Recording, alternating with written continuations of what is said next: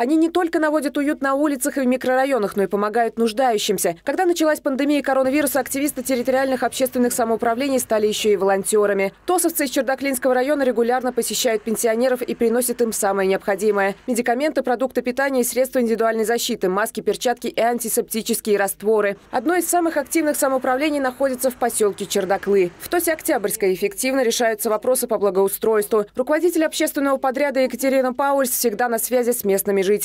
Так как у нас есть э, свое сообщество э, волонтеров э, Чердаклинского района, соответственно, у нас есть куратор, и у куратора есть номер телефона каждого волонтера. Она уже или он отслеживает территориальное местоположение того гражданина, который нуждается в помощи. Жителям улицы Октябрьской помогают несколько общественников. ТОС небольшой, но деятельный. Каждую неделю добровольцы приносят гостинцы соседям по улице. В этот раз пенсионеры получили медицинские маски и перчатки. Лидия Григорьевна и Валентина Федоровна всегда с благодарностью принимают помощь.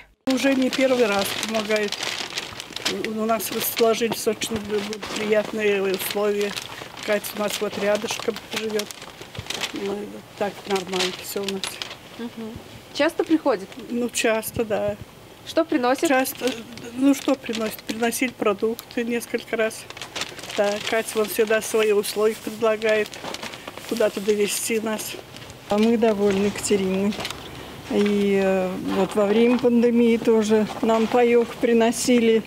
И так она навещает нас, спрашивает о нашем здоровье, как дела, не нужна ли помощь нам. В этом отношении мы довольны. В Чердаклинском районе создано 10 ТОСов. Эти самоуправления ощутимо помогают обустроить быт. ТОС активно принимает участие в различных конкурсах, выигрывают их оттуда. Ну, конечно, без поддержки бы как раз администрации такого бы не было.